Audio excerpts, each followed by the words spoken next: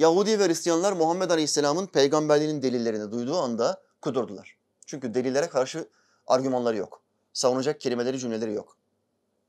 Muhammed Aleyhisselam'ın peygamberliğinin delillerini İmam Razi Hazretleri tefsirinde anlatırken üç delilini getirdim. Çok delili var, zaman yok şimdi 10 dakikam var. Üç tane delilini getirdim. Zikredeceğim kelime kelime.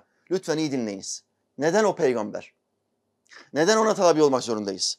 İmam Razi diyor ki, onun elinde zuhur eden güçlü ve kesin mucizeler olduğu için o bir peygamberdir. Bakın Allah Teala Hazretleri Kur'an'da diyor ki bütün peygamberlere mucizeler verdik. Şimdi Yahudi ve Hristiyanlar derse ki mucizeler bir adamın peygamber olduğunun delili olma, olması için yeterli değildir derseler, Razi diyor ki o zaman İsa Aleyhisselam'ı da Musa Aleyhisselam'ı da inkar etmeleri lazım gelir. Çünkü iki peygamberin de çok kuvvetli mucizeleri vardır. Sen onların mucizelerini inkar ediyorsan, sırf Muhammed Aleyhisselam'ın mucizelerinin peygamberlik için yeterli olmadığını söylüyorsan, iki peygamberinin de mucizelerini inkar etmen lazım gelir. Bu da küfürdür. İkinci delil, Hazreti Peygamber Aleyhisselam ömrünün başından sonuna hiçbir eğitim ve öğretim görmemiş, hiçbir şeyden istifade etmemiş ve herhangi bir kitap mütalaa etmemiş olduğu halde bu yüce Kur'an onun dilinden zuhur etmiş. Şu halde bu Hazreti Muhammed'in en büyük mucizesidir. Övgüler ve selam efendim olsun. Bakın hayatı boyunca hiçbir kitap okuyamadı çünkü okuma yazma bilmiyor. Hiçbir ilim meclisinde, sohbet meclisinde bulunmadı. Çobanlık yaptı, çalıştı, hayatının geçimini sağladı.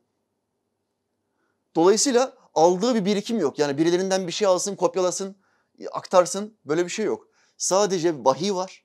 Vahiyi bir kez kendisine e, telakki ediliyor, söyleniyor ve ezberliyor. Kalbiyle ve aklıyla vahyi ezberliyor.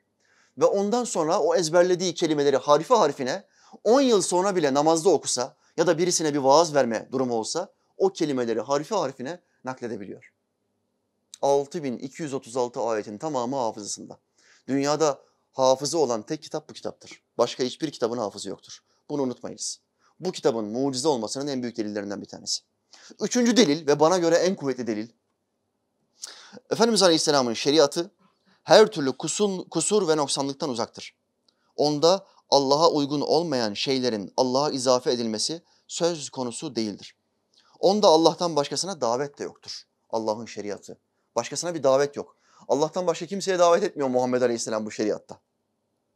Hazreti Peygamber Aleyhisselam büyük beldelere sahip ve hakim olmuştur. Arap Yarımadası'nın tamamına hakim oldu Muhammed Aleyhisselam. Ama bu onun dünyayı önemsememe ve dünyaya değer vermeme huyunu değiştirmemiştir.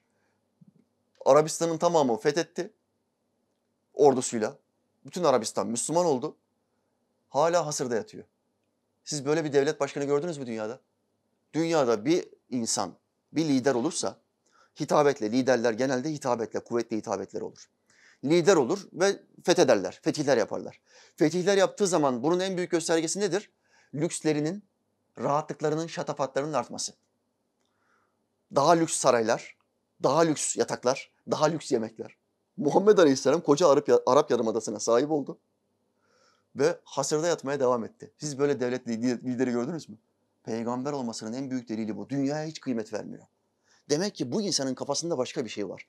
Ebedi aleme dair sahneler gördü ve bütün talebelerini buraya doğru sevk ediyor. Halbuki eğer Peygamberimiz Aleyhisselam'ın gayesi dünya olsaydı bu böyle kalmazdı. Devlet fethettin. Lüks içinde yaşardın. İşte bu durumlar Hz. Muhammed'in sözünün doğruluğu hususunda apaçık deliller ve kesin bürhanlardır. İşte Muhammed Aleyhisselam'ın peygamberliğinin delillerini gördünüz kardeşler. Allah Teala Hazretleri son nefesimize kadar onun yolundan ayrılmayı bize nasip etmesin. Amin.